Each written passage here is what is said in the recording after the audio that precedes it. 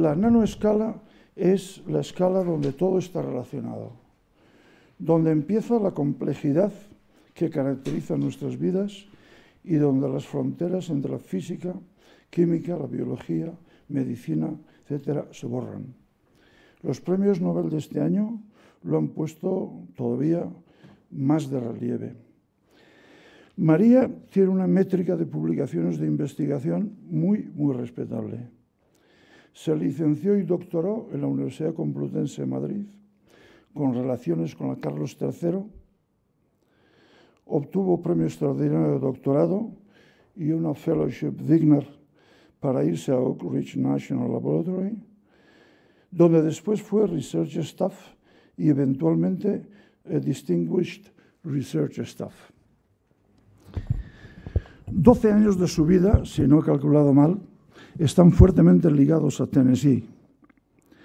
No es fácil encasillarla, pero la microscopía electrónica y la espectroscopía electrónica son las técnicas principales que utiliza y que la identifican en sus estudios a nivel atómico y ha dicho que iba a ser breve y creo que lo mejor es que la escuchemos.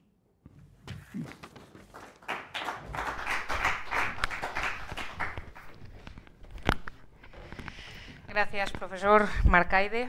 Eh, gracias a toda la academia, a los académicos por la oportunidad de, hablar aquí hoy. Gracias, colegas, eh, a los que estáis aquí y a los que están online, a los cuales no puedo ver, pero pero espero que eh, muchos de mis eh, de, los miembros de mi grupo estén ahí, excepto los que tienen que estar en el microscopio ahora mismo trabajando. y sí, eh, voy a hablar hoy básicamente de, la física en la escala del nanómetro, de la nanoscala. estamos hablando de 10 a la menos 9 metros. ¿De acuerdo? O sea, estamos hablando de cosas muy, muy, muy, muy pequeñas. Y aunque la conferencia es en español, si me permiten, voy a empezar con un, un viejo proverbio eh, que, Ben Franklin, de hecho, puso en, eh, por escrito en 1758. Eh, y a mí la verdad es que me gusta mucho siempre en el marco de la nanociencia y en particular de la nanofísica.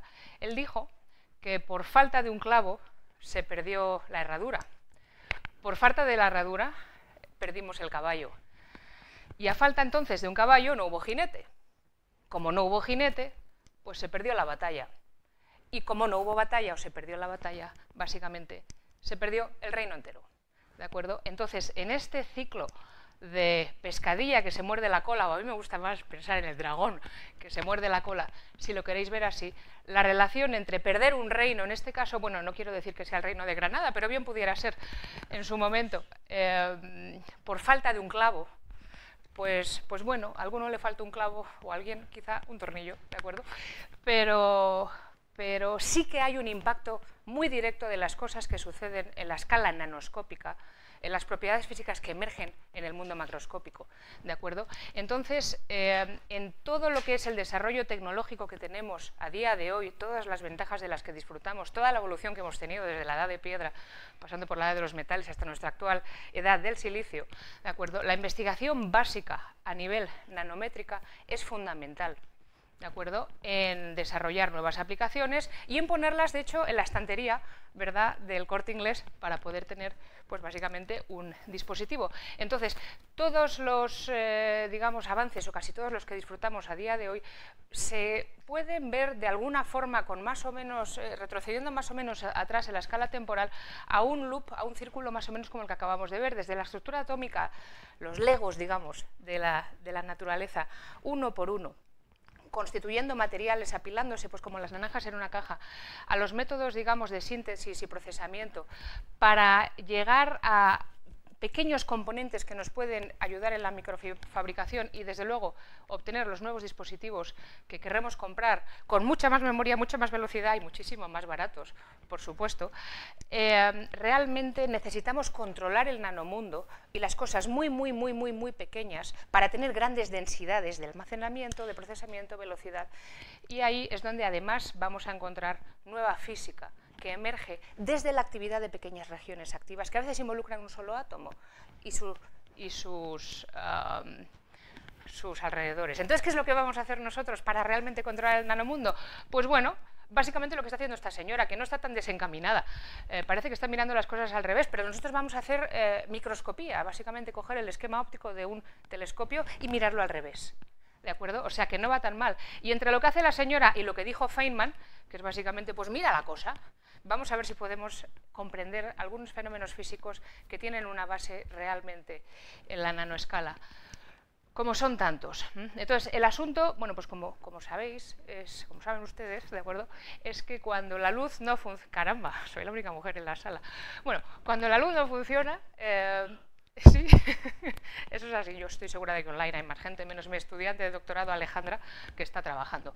Bueno, a lo que decía, eh, cuando la luz eh, óptica, digamos, no funciona para iluminar objetos, porque el poder de resolución saben que falla cuando queremos ver objetos tan pequeños como la longitud de onda de la radiación, llegamos al límite de difracción y los rayos se tuercen, empezamos a ver cosas borrosas, pues necesitamos otro tipo de radiación como iluminación. Nosotros vamos a utilizar electrones. ¿eh? En la escala, digamos, de una línea temporal de cómo se ha desarrollado la microscopía, eh, donde pintamos, digamos, el tamaño del mínimo objeto resoluble en nanómetros frente pues, al tiempo desde el siglo XIX, el microscopio óptico básicamente se desarrolló mayormente en el siglo XIX y saturó, digamos, el límite de resolución obtenible, que son los cientos de nanómetros, longitudes de onda ópticas, allá pues, por a principios del siglo XX.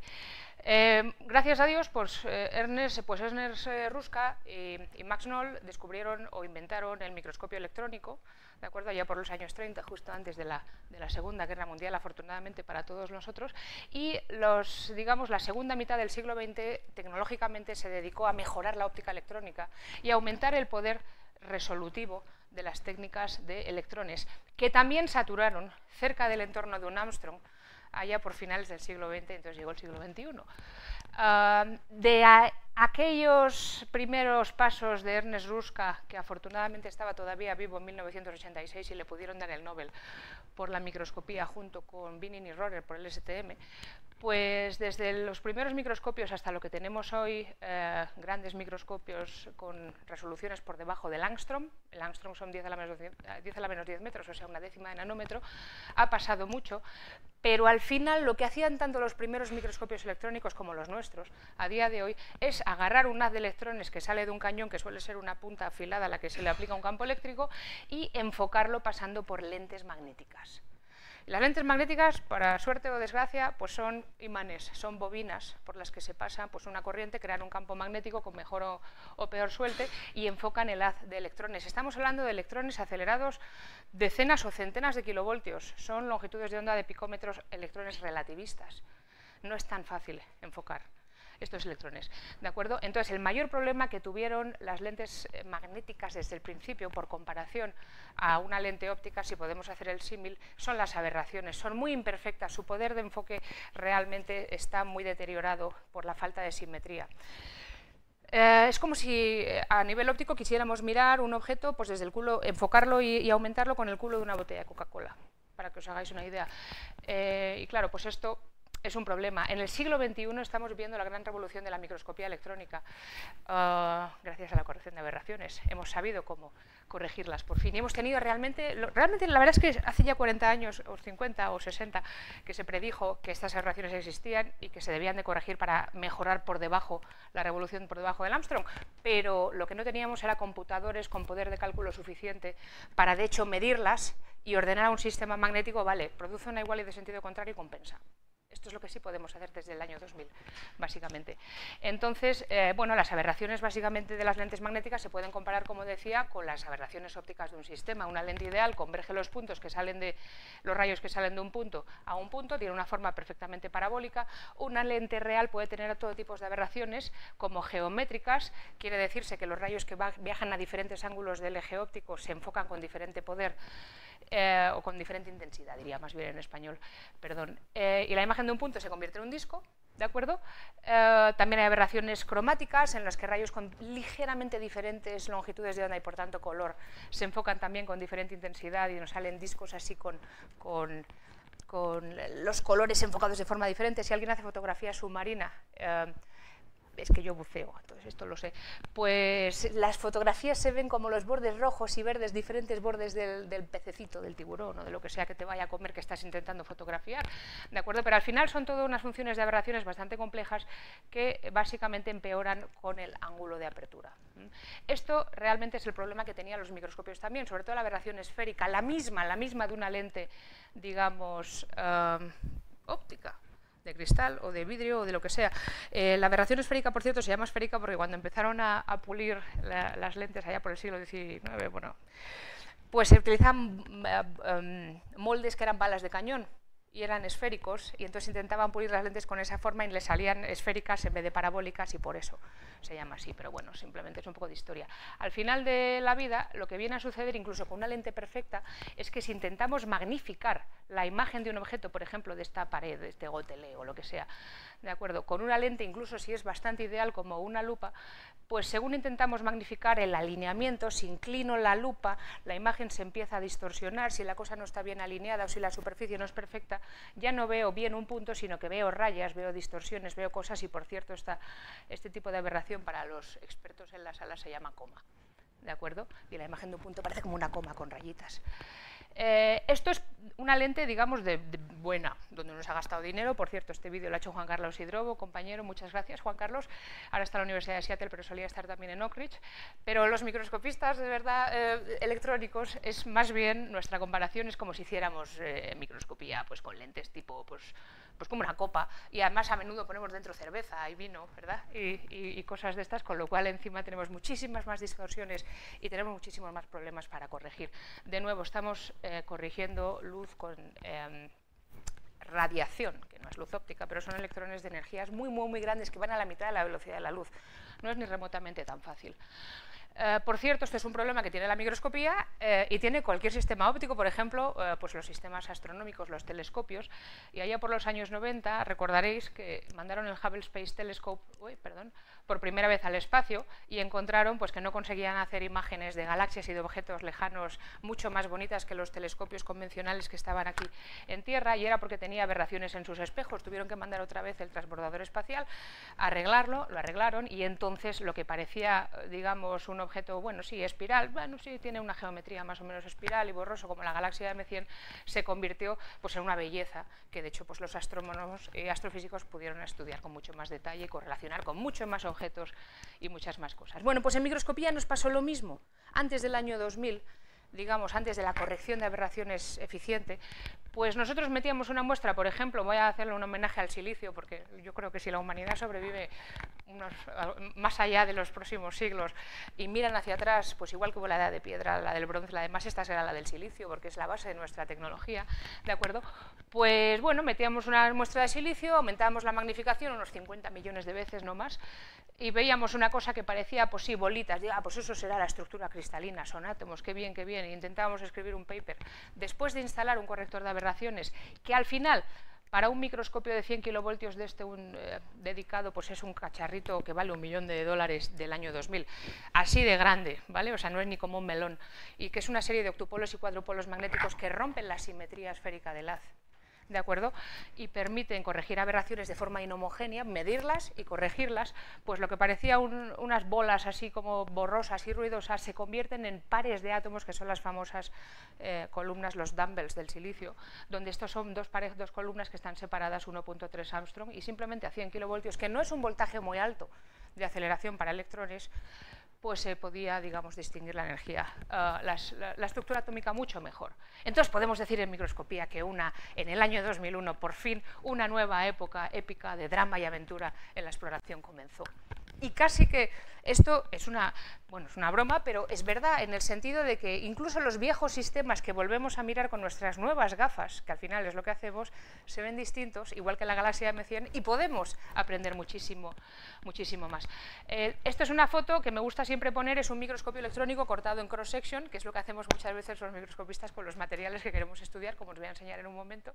¿De acuerdo? Este es un microscopio de eh, transmisión y barrido eh, que está dedicado y está en el Cavendish, en, en, en Cambridge, Pues lo iban a, mandar a, poner en, eh, bueno, pues al, chatarrero y decidieron cortarlo por la mitad para que la gente pudiera ver. Aquí está el cañón, las lentes condensadoras que son bobinas, eh, aquí dentro va el corrector de aberraciones que obviamente no lo cortaron por la mitad porque no podían tirar un millón de dólares a la basura en aquel momento, pero bueno, iría aquí dentro, muestra, detectores, espectrómetro y demás.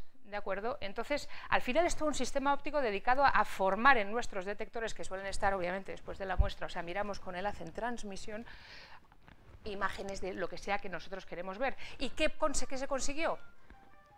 Bueno, no te preocupes, John, saluda de mi parte. Bueno, ¿qué se consiguió? Pues antes del año 2000, digamos, en el eh, finales del siglo XX, pues nosotros mirábamos muestras en el microscopio. Eh, por ejemplo, esta era una muestra que venía de Alcoa, una, una una industria, digamos que está en Tennessee, cerca de Oak Ridge, donde se dedican a hacer catalizadores a larga escala y de hecho en España también tienen alguna planta, eh, creo que es célebremente famosa porque van a hacer un ERE o lo han hecho ya enorme. En fin, catalizadores. Y uno miraba, pues estos eh, ponían, dopaban alúmina con platino y aumentaba la, actividad catalítica, no sabían cómo se, el platino se metía en la alúmina, no sabían tal. Bueno, pues Pete Nellis agarró estas muestras, las puso antes de corregir en el microscopio y dijo, ah, están aquí los platinos, son estos. Y cuando un microscopista pone una flechita o un circulito para que digan, aquí están los platinos, pues es que no se ve nada. Porque si se ve no te hace falta marcarlo, ¿de acuerdo? Bueno, esto es antes de la corrección de aberraciones y esto es después en escala de falso color, foto de Albina Borisevich, también en Ocris National Lab, de, los, de la misma muestra, los mismos átomos de platino que efectivamente, eh, se, en este caso vieron que se, lo que ya había sugerido Pete Nellis de estas fotos borrosas del año 96, se, se enlazan como en trímeros, esto tiene que ver con la actividad catalítica, que no voy a describir porque no es mi trabajo, pero para que tengáis una idea del tipo de cosas a las que eh, me refiero. A día de hoy, incluso a voltajes de aceleración tan bajos como casi un microscopio de barrido, que es muchísimo más barato de transmisión, se puede ver imágenes incluso de átomos ligeros, que espero que se vea un poco mejor desde el fondo de la sala. Esta es una foto tomada por Gusu, también en Oak de grafeno. Aquí veis la red hexagonal con sensibilidad para incluso ver átomos aislados. Aquí tenemos, de hecho, un silicio ¿eh? Eh, metido como sustitucional en la red de grafeno en geometría eh, de orden, vamos, aquí está metido en vez, de dos, en vez de dos carbonos, ¿vale? Creo que sale pentagonal, pero bueno, no se ve muy bien. Es lo de menos, solo quiero mostraros lo que se puede hacer. Esto es un material de los átomos casi más ligeros que podemos ver, con espesor de una sola capa atómica, y aun con todo se ve en el microscopio a relativamente bajos voltajes que no dañan el material, porque esta es otra. Si con una de electrones daño mi material y lo altero, pues bueno, pues es un experimento muy bonito para hacer una película, pero, pero no tiene nada que ver con la investigación básica y con la ciencia del futuro. ¿De acuerdo? Eh, por cierto, eh, no he dicho nada, pero además de mostrar imágenes, podemos acoplar espectrómetros al microscopio, simplemente pues, meter los electrones a través de un prisma, que en nuestro caso es un prisma magnético redondo semicircular que los separa por energías, ¿vale? y hacer espectroscopía de pérdida de energía de electrones. La gran mayoría de los electrones que atraviesan la muestra interaccionan elásticamente, contraste de difracción y demás, pero algunos, muy poquitos, son capaces de interaccionar inelásticamente y estimular procesos dentro del átomo como uy, perdón, transiciones atómicas, a ver, eso es. Y en ese proceso, pues obviamente perder energía característica de esa transición, que es característica del átomo también.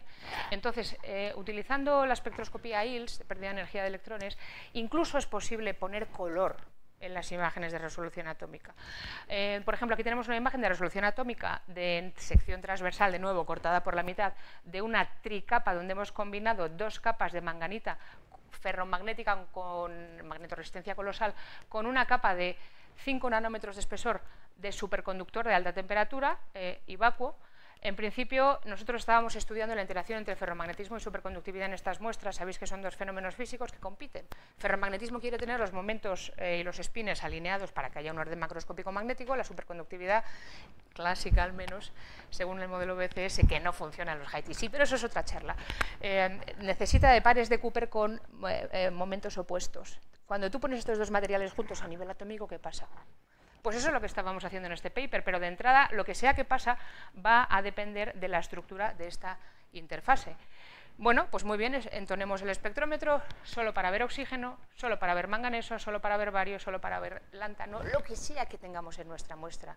Y entonces podemos incluso decir quién es cada columna dentro de nuestra imagen y ver, anda, pues mira, un plano de manganeso, oxígeno en rojo, que es el material ferromagnético, mira el plano de bario y está transfiriendo quizá electrones con polarización de spin al superconductor. Anda, bueno, pues nada, eso está en otro paper y de nuevo no es lo que voy a contar hoy, pero es un buen ejemplo del tipo de cosas con resolución atómica que se pueden hacer en el microscopio y también con sensibilidad a átomos aislados. Aquí tenemos una imagen de una matriz de titanato de calcio donde hemos puesto un solo átomo de lantano que está ahí, ponemos la de electrones encima y vemos el borde M45 del lantano. Lo separo a los vecinos de al lado, ya sea por una dirección cristalográfica por la otra dirección inequivalente, y dejo de ver el borde. Tenemos información atómicamente localizada y podemos verla. Vale que estoy viendo un borde pequeñito, pero es que son las transiciones asociadas con la cantidad más pequeña de materia que existe, un solo átomo. ¿De acuerdo?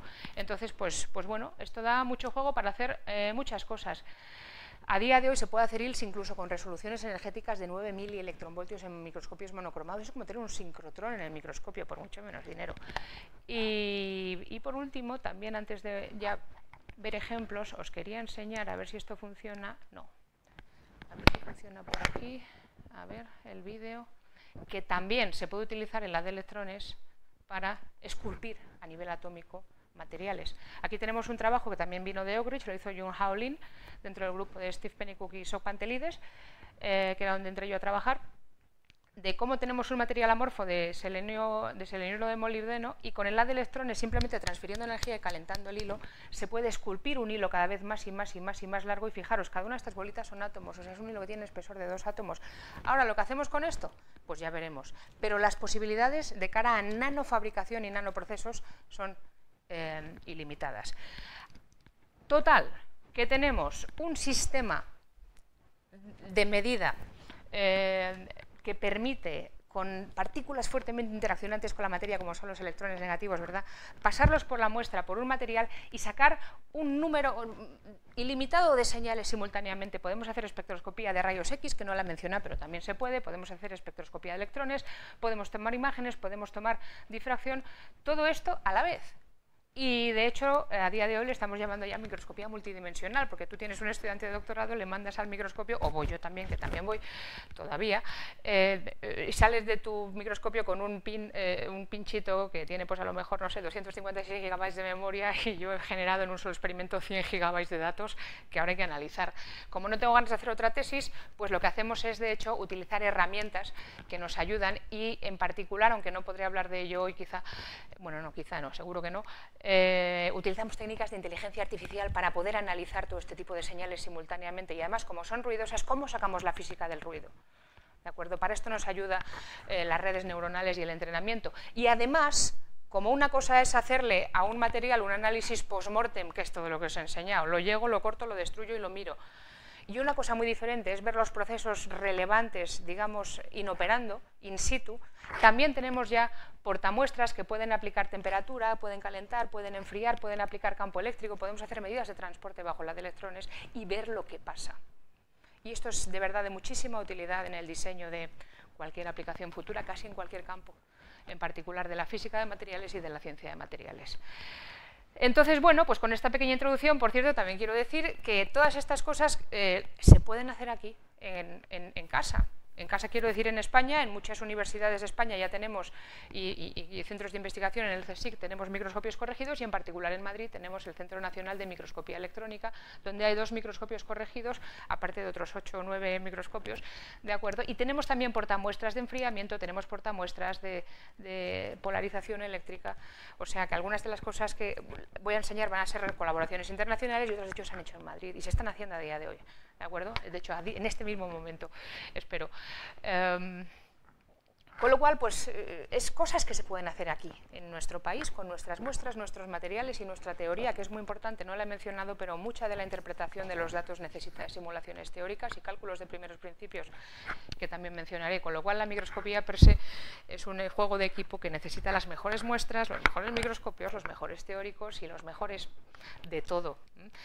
Eh, y salen cosas chulas. Espero poderlos enseñar. Entonces, vamos a ir ya a este bloque de la charla donde de verdad vamos a hablar de nanofísica y de cómo toda esta técnica que más o menos os he intentado contar en 20 minutos rápidos funciona a la hora de entender procesos nanoscópicos. ¿De acuerdo? Ah, ¿Qué es lo que sucede cuando tenemos sistemas materiales donde pequeñas regiones nanométricas activas determinan la física macroscópica del sistema y su respuesta ante estímulos? Y en particular vamos a hablar de regiones activas tan pequeñas, tan pequeñas, tan pequeñas como defectos puntuales de un átomo. Un átomo, por ejemplo, que falta, una vacante, ¿verdad? ¿Qué es lo que pasa en materiales donde las vacantes mandan? Cosas que ni siquiera están.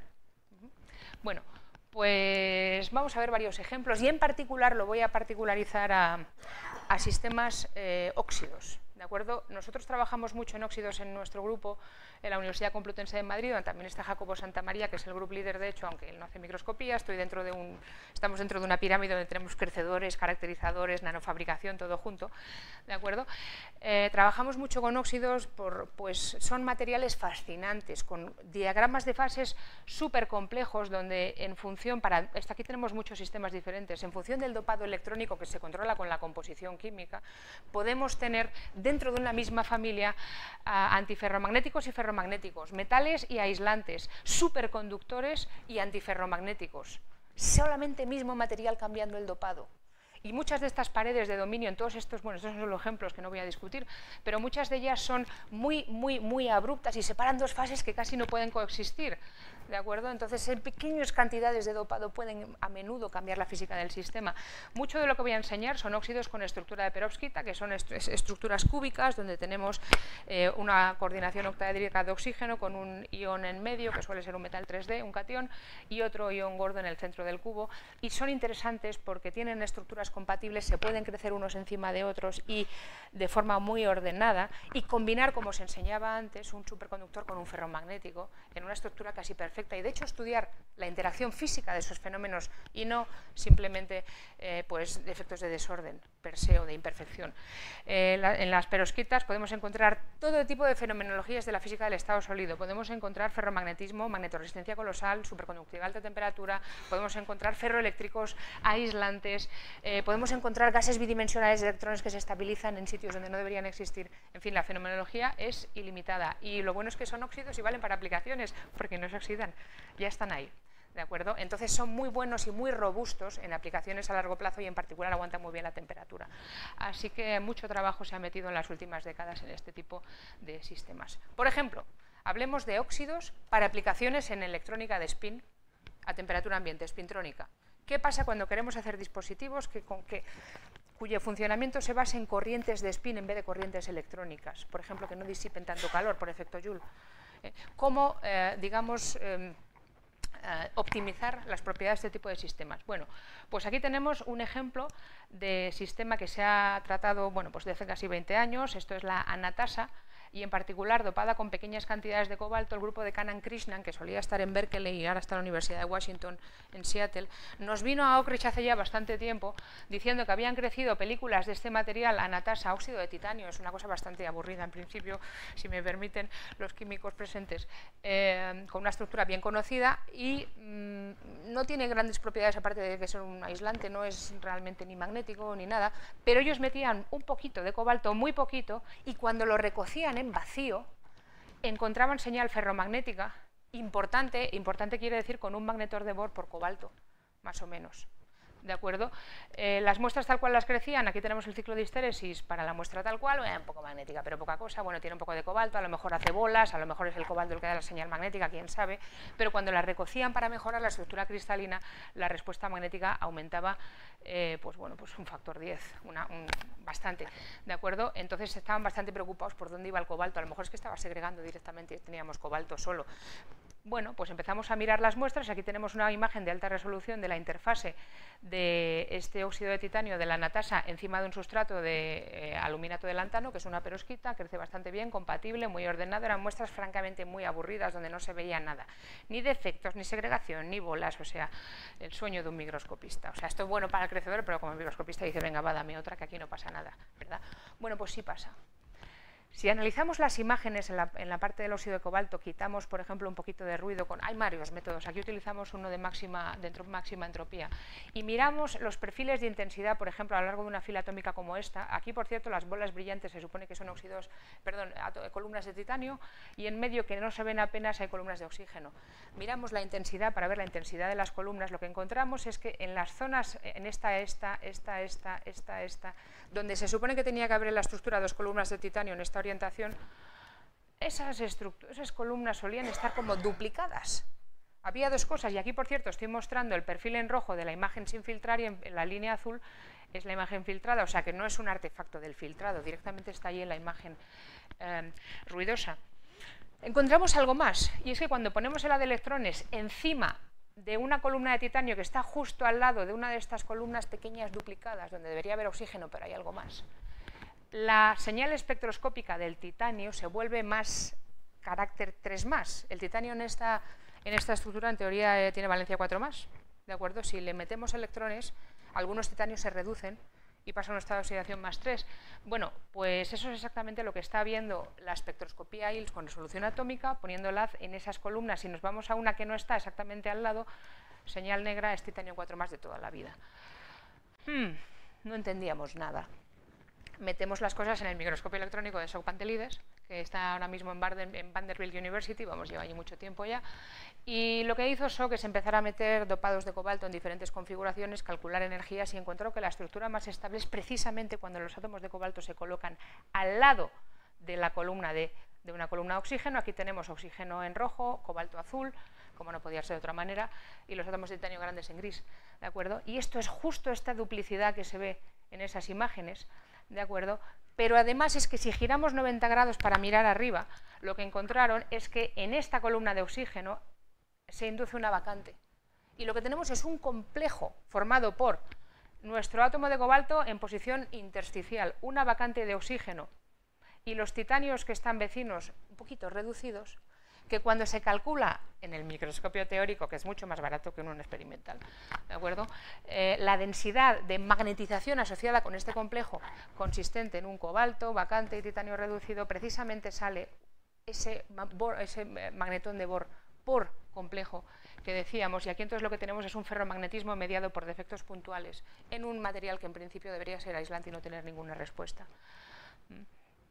Eso solamente es un ejemplo, pero si seguimos hablando de cobalto, que esta vez en perovskitas, en un sistema que es muy parecido a las perovskitas de manganeso con magnetoresistencia colosal, que por cierto es un fenómeno que tampoco se entiende, se pone este material en un campo magnético y la resistencia baja un millón de veces, de órdenes de, vamos, seis órdenes de magnitud, pues no se sabe tampoco por qué, es como la superconductividad de alta temperatura, pero muy útil para aplicaciones. Bueno, pues empezamos a estudiar estas, estas perosquitas del lantano estroncio, películas delgadas, estas venían del grupo de Chris Layton en la Universidad de, Minnesota, y lo que encontrábamos es que las películas tenían estructuras así como con nanodominios, mm, con fronteras, con una cosa muy... no tenía una pinta tan, tan, tan, tan bonita, pero si aumentamos la magnificación en una de estas zonas, estos estos, no sé cómo decir, stripes, estas bandas clara, oscura, clara, oscura, clara, oscura, parece que se corresponden con planos de cobalto oxígeno que están más oscuros, oscuro, brillante, oscuro, brillante. Hay una super red en la estructura. Y de hecho esto se conoce hace tiempo la estructura de Braun-Millerita y semejantes.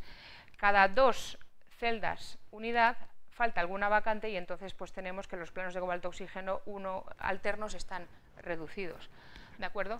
Bueno, en el microscopio electrónico esto se ve, si hacemos ILS poniendo la de electrones en los planos completamente oxigenados obtenemos una señal típica de cobaltita, que es este espectro rojo, se pueden simular también. Si quitamos un poquito de oxígeno en el microscopio teórico y calculamos los bordes de absorción eh, de estos planos un pelín desoxigenados, desaparece este primer pico, el prepico que hay en el onset del, borde OK del oxígeno, por cierto, es lo que conseguimos cuando excitamos electrones desde el nivel 1s a la banda 2p, que es la que está en el nivel de Fermi de estos materiales, el prepico desaparece también a nivel experimental. Y mirando un poquito más, rascando en el microscopio teórico, lo que encontramos es que si miramos las densidades de estados proyectadas en el cobalto, que es el que me da la respuesta magnética de este sistema, eh, tanto para los cobaltos del plano desoxigenado, el oscuro, y el plano completamente oxigenado, el brillante, las densidades de estados tienen muy diferente pinta en los canales de espina arriba y espina abajo. Y sabéis que la diferencia de esos es la que me da el spin neto si es que hay alguno. ¿De acuerdo? Cuando integramos alrededor del cobalto, ambos tienen el mismo número neto de electrones, O sea, no hay un cambio de valencia, pero sí hay cambio en el estado de spin neto de los átomos porque los electrones de spin arriba y abajo se, se distribuyen de forma diferente en los orbitales d en los dos canales. Con lo cual, mapeando simplemente la intensidad de ese pequeño prepico que os enseñaba al principio, conseguimos eh, por primera vez mapear una uh, super red del estado de spin con resolución atómica en este tipo de sistemas, ¿de acuerdo? Eh, y ver que la espectroscopía ILS vale también para mapear cantidades magnéticas, que no estaba tan claro hasta el momento, y con resolución atómica en este sistema.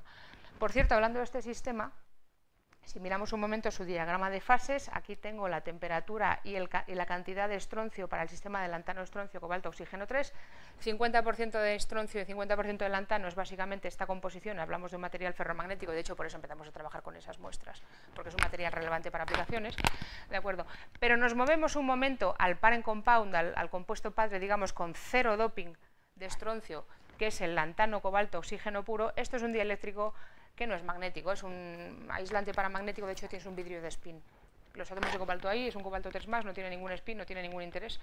Pero vino Yuri Suzuki de la universidad, ahora está en Stanford, entonces estaba a medias con Berkeley, porque tenía un problema de dos cuerpos, su marido está en Berkeley, ¿verdad? Pues bueno, están allí haciendo lo que pueden, como la mayoría de nosotros. Bueno, pues entonces eh, nos, nos, trajo unas películas delgadas de cobaltita de lantano, crecidas encima también de óxidos, eh, en este caso un titanato de estroncio, ¿de acuerdo? Y lo que nos encontraron es que cuanto más delgada era el espesor de la película que depositaban epitaxialmente, o sea, átomo sobre átomo, los ciclos de histéresis apuntaban a mayores emanaciones en el sistema. Saluda, Miguel Ángel. Tú también puedes saludar de mi parte, sí. Diles que vengan. bueno, a lo que voy, aquí tenemos los ciclos de histéresis de varias películas, 180 nanómetros, 80, 43 nanómetros de espesor. Cuanto más delgada era la película, más magnética era. Esto era un poco raro. Aquí tenemos una imagen en sección transversal, de nuevo un corte, como el del microscopio de antes, de una de estas películas de cobaltita de lantano, y de nuevo vemos este, este contraste como de líneas brillantes y líneas alternas oscuras, como de paso de cebra eh, vertical, lo cual es muy, muy raro, porque si ese contraste en Braun-Millerita de antes estaba asociado con falta de oxígeno y en este compuesto no hay estroncio, que es lo que de hecho mete las vacantes de oxígeno en el material, porque al meter más estroncio quiere compatibilizar metiendo vacantes de oxígeno. ¿Y esto qué es? Bueno, pues haciendo de nuevo, aquí la otra imagen estaba en color que es muy bonito, pero lo que vemos en el microscopio realmente es blanco y negro porque es una escala de, intensidad pura y dura. ¿De acuerdo? Bueno, pues haciendo un mapeado, digamos, con resolución atómica de la composición de este sistema, podemos ver los átomos de lantano en verde, por ejemplo, aquí, los mapas de cobalto en azul, eh, vemos las columnas atómicas, el mapa de oxígeno un poquito más ruidoso, pero seguro que desde lejos se ve mejor, que tiene rayas verticales, aquí tenemos una, aquí tenemos otra, otra, otra, y de hecho, si hago una, si miro la intensidad promediada a lo largo de esta dirección, en el mapa de oxígeno lo que tengo es esta intensidad que está aquí en puntos rojos, comparada con la del lantano, que es la de los puntos verdes. Sí que vemos que cada 1, 2, 3, 1, 2, 3 planos hay menos oxígeno en el, en el mapa composicional, con lo cual efectivamente se ve pues, que estos, estos, estas bandas oscuras de nuevo son planos con vacantes de oxígeno que se han ordenado. Eh, es como le estamos quitando, digamos, el pegamento al cristal iónico y por eso pues, pues los, los lantanos vecinos se separan un poco, baja el contraste.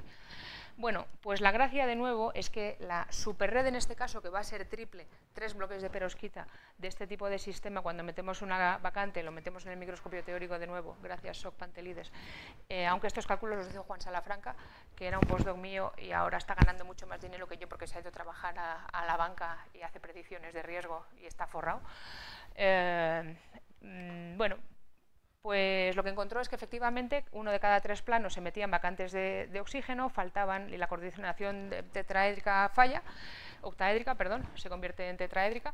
Eh, cuando se puso a rascar también en las densidades de estados para calcular los momentos, los estados de oxidación y encontró que aquí en esta muestra había lo que se llama ordenamiento de carga.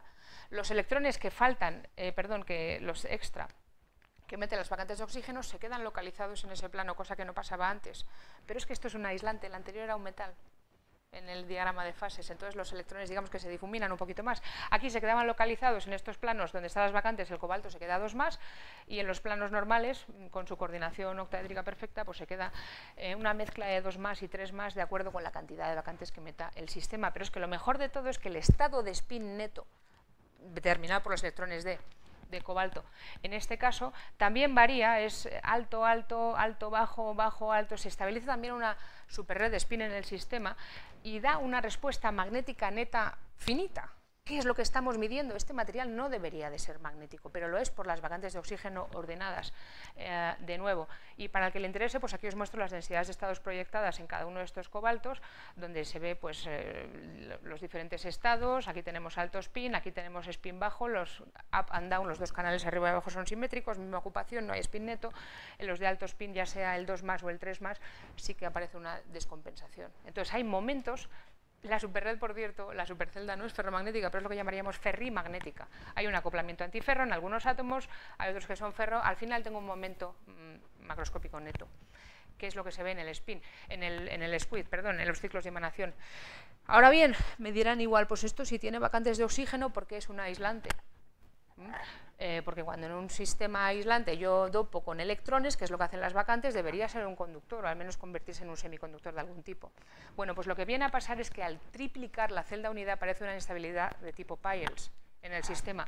Eh, se abren como unos mini gaps en, los, en, los, puntos necesarios de la zona de Bruyén, los que conmensuren con la, con la, si la celda se dobla, pues en la mitad, si la celda se triplica, pues en un tercio, ¿de acuerdo?, y estos son los, en teoría, en un PILS puro, responsables de que el sistema se vuelva aislante.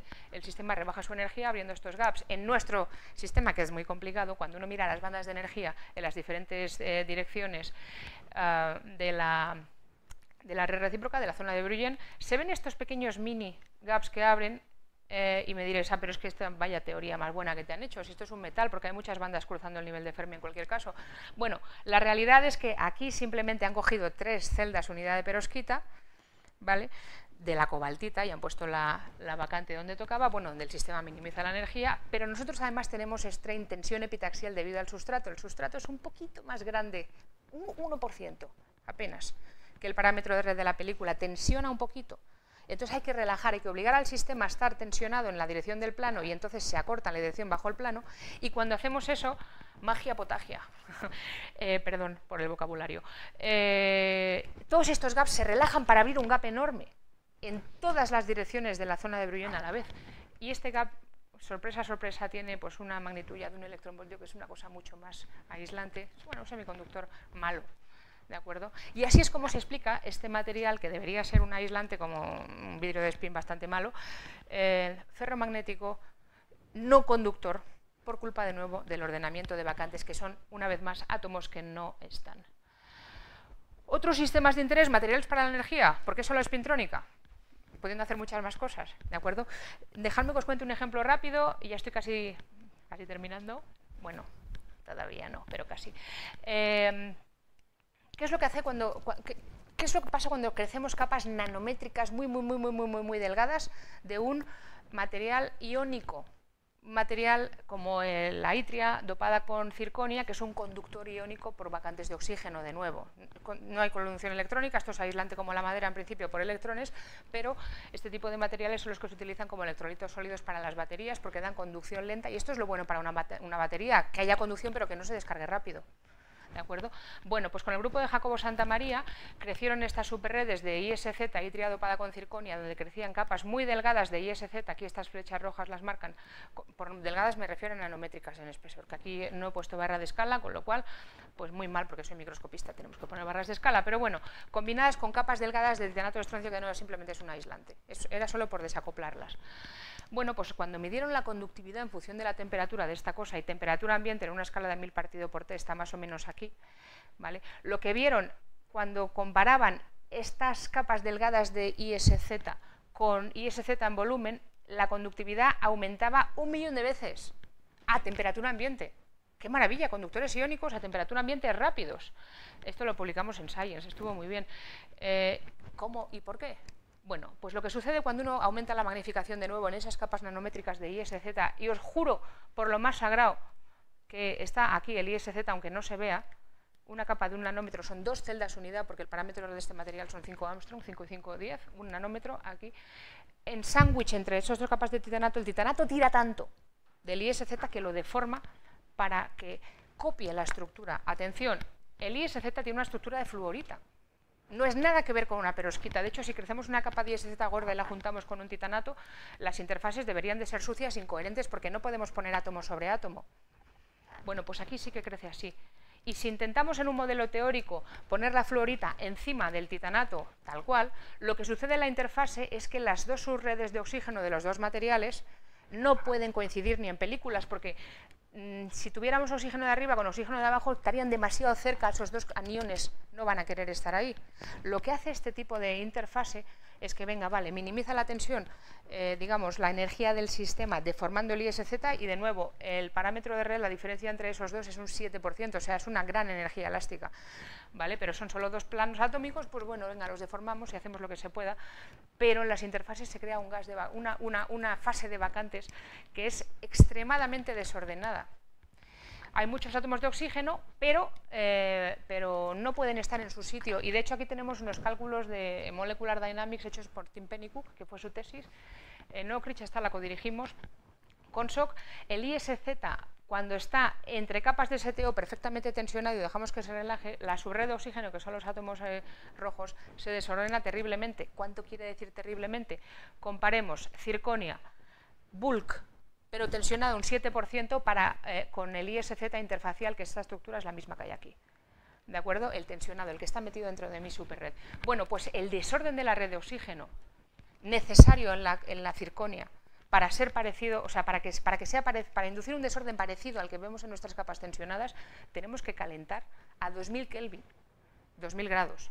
¿De acuerdo? La, eh, la circonia. Este tipo de desorden se encuentra ya en el ISZ a temperatura ambiente o casi, 160 Kelvin, 100 grados, una cosa así.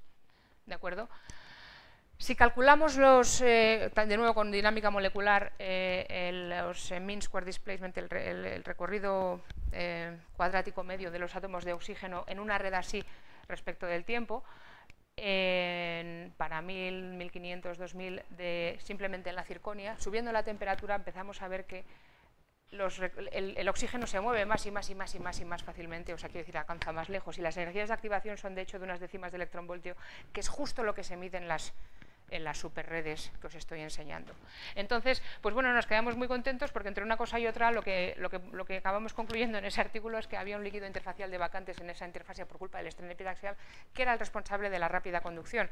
Y como pasa muchas veces en ciencia, pues nos llamaron del periódico y entrevistaron a Jacobo y yo no sé qué les dijo, yo no estaba ahí, pero el artículo que salió en el mundo desarrollan un método para universalizar el uso del hidrógeno como energía alternativa, no sé qué no es el hidrógeno que hacía aquí, pero bueno, el caso pues que sí que es importante que cuando llevamos los materiales iónicos a funcionalidades nanométricas como esa interfase, aunque sea bidimensional, es muy muy muy delgada, un plano atómico eh, o un nanómetro, la fase desordenada, aparecen nuevas funcionalidades, incluso esto pasa en materiales tridimensionales iónicos, estos ISZ en volumen, una frontera de grano, de acuerdo, dos granos con diferente orientación que se Aquí también hemos estudiado la segregación, en este caso de átomos de itrio, que provoca segregación electrónica, los núcleos de dislocación, esto hace de barreras de potencial que hace que los iones no se puedan trasladar a través de la frontera y frenan la conducción, o sea que todo el campo de la nanoiónica a día de hoy está en, digamos, en efervescencia, ¿de acuerdo?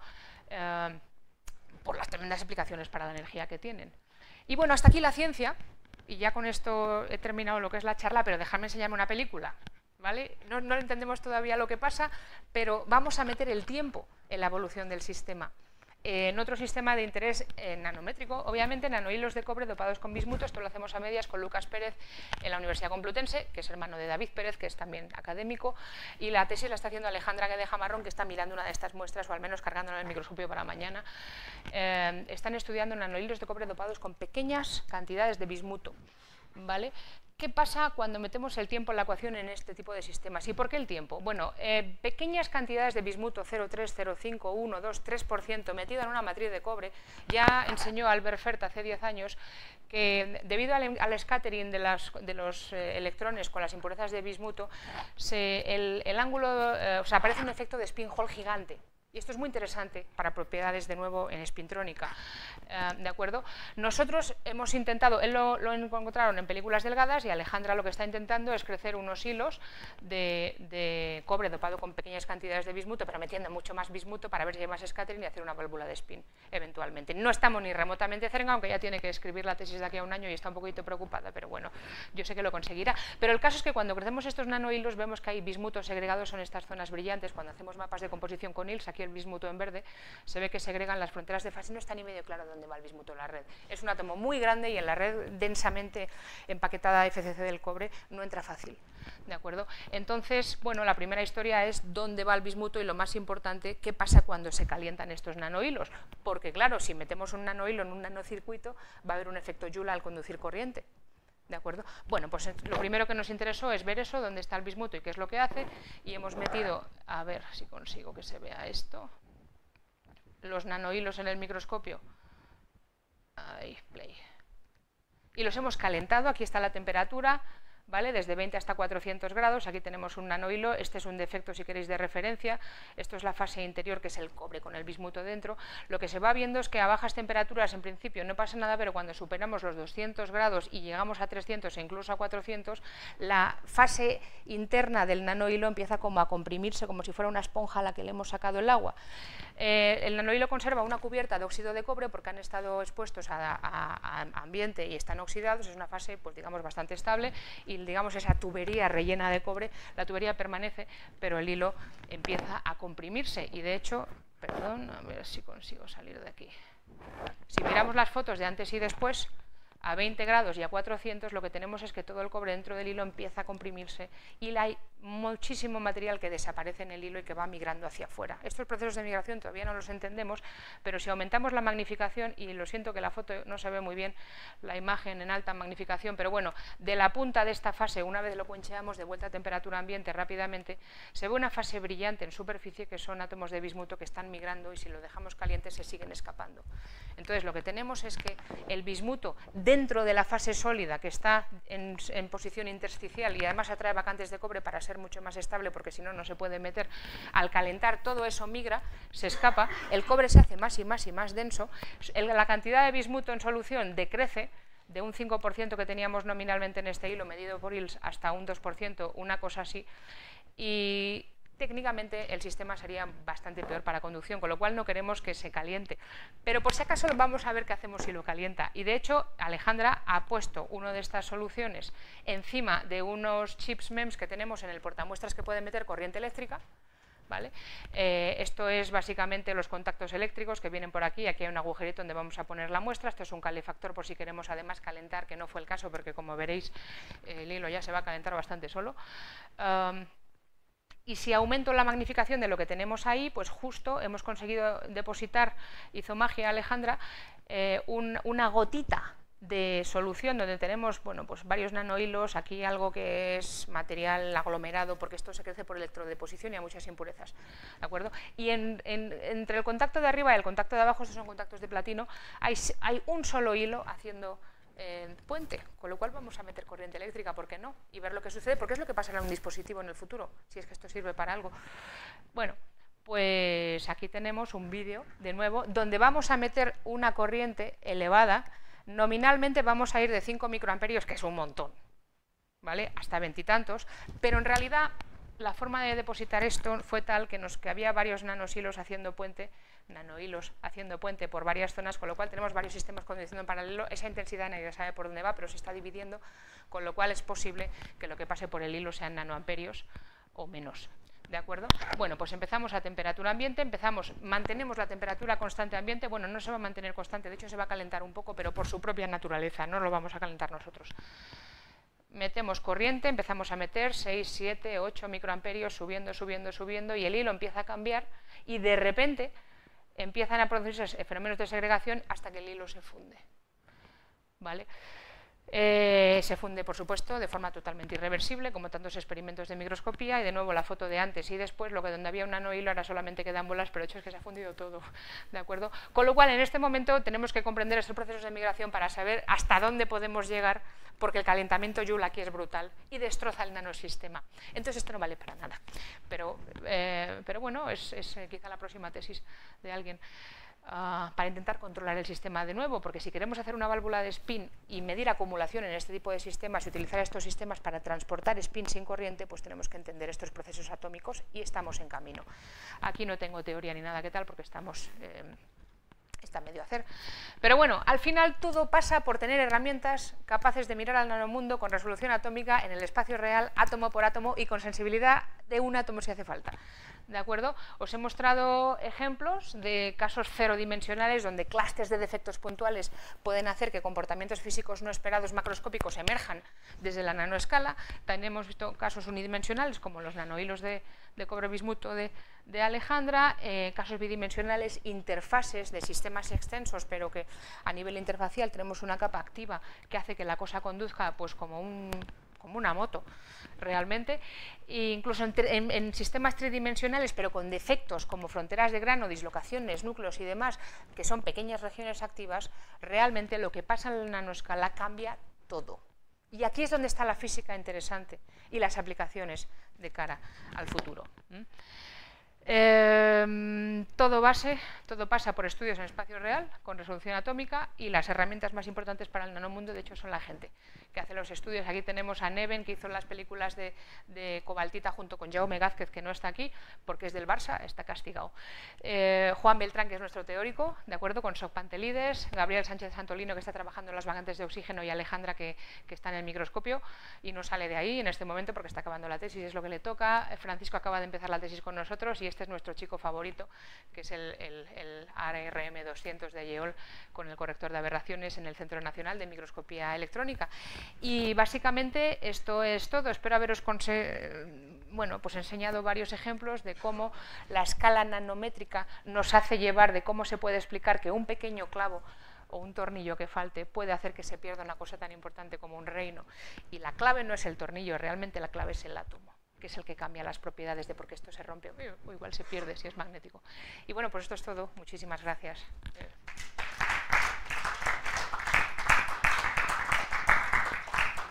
Y perdón porque eran muchas cosas y he tenido que hablar muy deprisa, pero espero que haya habido algo para todos. Sí, sí, sí que es, sí que es verdad que hablas deprisa, eso no lo voy a negar. Y también que has mostrado muchas cosas y que ese nanomundo es muy complejo y bastante más complejo de lo que yo pensaba que iba a ser. Esto, lo que no sé es si los técnicos nos, van a permitir tener preguntas eh, de fuera, de YouTube. Aquí podemos tener preguntas de dentro.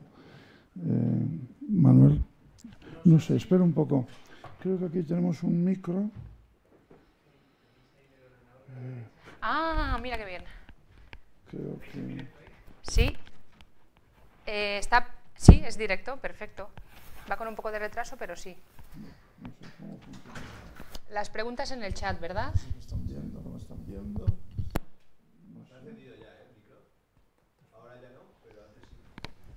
Eh, a ver, esto es física macroscópica. sí, ahora funciona, sí. Ahora sí va. ¿Se oye? Bueno, ¿están ahí los, las preguntas? Hay gente en el chat haciendo comentarios. Uh, bueno, vamos a tomar primero la pregunta de Manuel Aguilar sí. Sí. y después ya seguimos con lo que hay allá hasta que nos dé. De Manuel. Nos has ilustrado mucho y muy bien sobre las herramientas, pero yo querría ver qué es lo que habéis conseguido con esas herramientas de aplicaciones que has mencionado, sugerido que hay muchas, pero yo me conformo con que nos enseñes una. Pues no va a ser hoy. No, nosotros trabajamos mucho en ciencia básica y en, la comprensión de fenómenos de los cuales seguramente la mayoría no van, a ser ni siquiera útiles. Este tipo de materiales, la ventaja que ofrecen dentro de X años es que muchos de ellos son multifuncionales y en el mismo sistema tenemos varios comportamientos que van a permitir en un dispositivo pequeño tener varias operaciones a la vez. Eh, dispositivos basados en uniones túnel, como em, basadas en este, heteroestructuras tipo superred como la que os enseñaba antes, bueno, esta me vale. No, porque eso es, una, es un modelo teórico, que está muy bien, pero no es lo que yo quería. Perdón, perdón, odio cuando la gente hace esto. Bueno, así nos vale. No, mejor así. Supongamos tener una heteroestructura como esta con un sándwich de diferentes materiales y poderla nanolitografiar en un, en, un, en, un, en un, chip muy, muy, muy, muy pequeño y poner muchos juntos a la vez. El comportamiento de uno de ellos se puede multiplicar en serie o en paralelo tantas veces como dispositivos pongan. Nosotros no hemos hecho eso. Es más, este particular ejemplo de la superconductividad, hablamos iónica, no le llamamos superconductividad, pero conductividad colosal, de hecho, eh, nos contactaron varias compañías para intentar patentarlo, pero en realidad, si lo piensas, más allá del interés de la fenomenología básica, per se no sirve para nada, porque con los conductores iónicos lo que queremos es que sean lentos y controlados. Eh, ahora bien, abre un nuevo número de fenómenos por explorar que sí podrían ser útiles para otras cosas. Yo no te puedo decir, Manolo, eh, para qué. De hecho, mentiría si si, te dijera que ni siquiera lo he intentado. Pero sí que es cierto que la física básica es como el fútbol, tú tiras balones en muchas direcciones como el fútbol barato y de repente uno entra y marca gol. Eh, yo creo que hay que meter mucho dinero en investigación básica para que de verdad haya una aplicación en el futuro. Por ejemplo, los nanohilos estos de cobre, bismuto, esto sí que lo queríamos hacer para una, una válvula de spin de verdad. En teoría es el objetivo de la tesis de Alejandra. Ella piensa que no lo va a conseguir, yo creo que sí. Pero todavía no está hecho. Estamos a medias. Entonces, la respuesta es no. No quiero, no puedo. O sea, no, no si quiero, pero no puedo. Eh, no, no hay preguntas, preguntas. Hay comentarios y gente que estaba escuchando. Eh, creo que en tu abstract decías algo de sobre la teoría de que ibas a hablar de la teoría detrás de todo esto. Yo, yo lo que he visto es mucho trabajo experimental, ¿no? Y explicaciones, digamos, mm, pero vamos, teoría no, no sé Cada vez que he mostrado, por ejemplo, aquí, que tenemos, estos son simulaciones, son teoría de primeros principios, donde uno mete sus átomos, pone su estructura cristalina, deja que se relaje, le mete temperatura, no se la mete, la teoría es esto o, por ejemplo, cuando he mostrado densidades de estados para ver eh, aquí, eh, estos son todo cálculos teóricos de la estructura de bandas del material. Nosotros esto no lo podemos sacar del microscopio, esto sale del microscopio teórico, digamos, de los, de los cálculos con su hamiltoniano, sus, sus funciones de onda y demás. O, por ejemplo, las densidades de estados proyectadas que utilizamos, por ejemplo, en este caso para calcular el estado de spin del cobalto, ¿de acuerdo? Esto es todo, eh, son densidades de estados calculadas. La teoría es esto. No, tenemos modelos teóricos, digamos, que, predijan, que predijan, predigan la fenomenología que luego queremos ver. Aunque sí, he de decir que en algunos de estos casos los modelos teóricos llevaban a cosas que todavía no habíamos observado y predecían cosas que podíamos buscar, y eso estaba muy bien, en algún caso nos, salió, eh, lo cual es un buen papel para la teoría. Pero estos son los cálculos eh, a los que me refería. Mucha química en, todo esto, ¿eh? tanto como física. Eso está muy bien. Eh, ¿Más preguntas? A ver, Fernando, te paso. Bueno, muchas gracias, la verdad muy interesante y me sorprende pues enormemente muchas eh, que estáis en este nivel tan tan avanzado, me refiero, ¿no? estupendo. Eh, eh, me hubiese gustado siempre eh, colaborar con vosotros en, la, en sistemas, sobre todo los bidimensionales, que es lo último que estábamos haciendo hasta hace poco. Y, y hay dos cosas. Una, ¿qué, ¿qué es lo que podéis ver en sistemas 2D de una sola capa, me refiero, ¿no? Y exentos, no como aquí que están apilados. Eso lo hacíamos siempre con las superredes y tal, ¿no? Pero, por ejemplo, en los seleniuros, sulfuros y telururos de metales de transición, que hemos hecho mucho, están muy de moda por las propiedades estupendas que pueden tener. Bueno, a ver, si vosotros trabajáis también en eso, en particular en los apilamientos de estos que trabaja tanto Jarillo en función de los ángulos de apilamiento entre dos capas, los ángulos eh, mágicos y tal. ¿Qué, podéis ver vosotros con estas técnicas?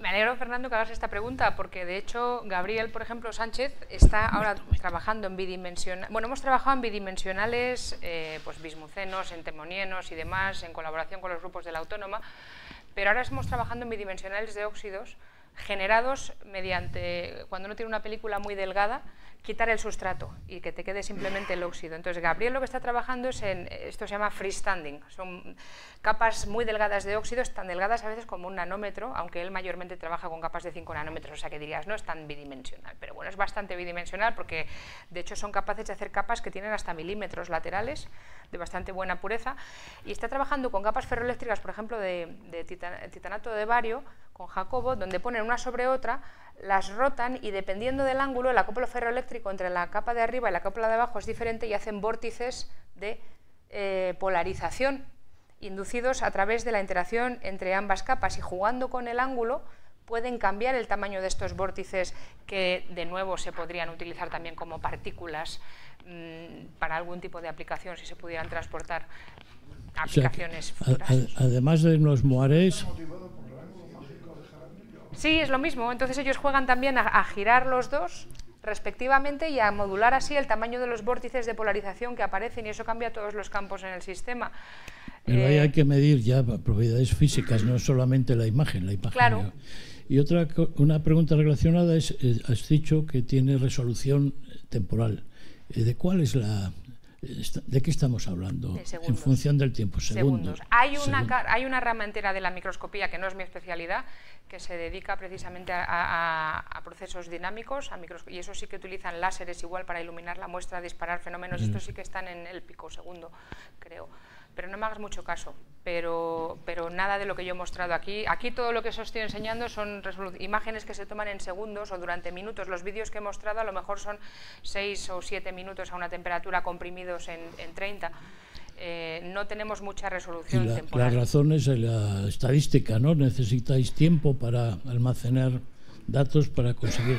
Tiene que, los, detectores son contadores de partículas, tienen que llegar suficientes para tener una señal con, con, vale, vale, sí, sí, significativa. Entiendo. Vale. Pues muchísimas gracias, muy interesante, María. Bueno, pues es, vamos a ver, hay, hay comentarios. Eh, a ver, mecánicamente se podría, aunque nuestro portamuestras en principio no puede, pero lo que están jugando es a cambiar el twisting con el campo eléctrico aplicado entre ambas capas. No sé lo que sale. Esto está pasando ahora. Es decir, yo pienso que lo que... Bueno, cuando depositan las capas hasta cierto punto, como las depositan mecánicamente con transferencia tipo scotch tape y, parecidos, ahí sí que pueden un poco controlar cómo cae. Pero una vez ya está, cambiar el ángulo cuando ya está la superred rotada, yo creo que lo están intentando hacer aplicando voltajes. Pero mecánicamente no tenemos una punta. Quizá con una FM se podría rotar. Esto no pues sí, supongo que esto alguien ha intentado. Sí, pero aquí no lo hemos probado porque el óxido es mucho más frágil, entonces una vez lo cae ya no lo quieres tocar, no va a ser que lo rompas. Mm, bastante. Igual, igual se hace todo aquello que se les ocurre y se puede hacer. Yo creo que más bien hacen de todo mientras se pueda hacer. Bueno, hay, hay algunos comentarios de escuchantes de YouTube eh, pues eh, dando la enhorabuena y eso de la charla, pero preguntas, preguntas no hay. Por tanto, deberíamos de, de, bueno, pues ya terminar si no hay más preguntas en la sala. Nada, dándote las gracias otra vez por la charla compleja, pero bonita, bonita. Pues muchas gracias. muchas gracias.